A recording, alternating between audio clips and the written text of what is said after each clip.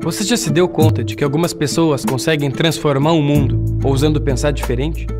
Pessoas com a capacidade de desestruturar a realidade e reestruturá-la de outras maneiras.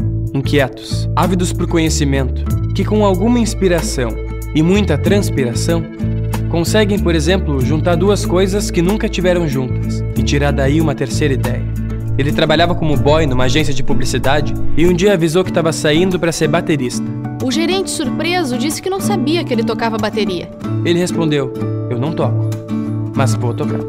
Poucos anos depois, o jovem Ginger Baker tocava com Eric Clapton e Jack Bruce. Joga no Google. Ginger é um dos bateristas mais talentosos do mundo.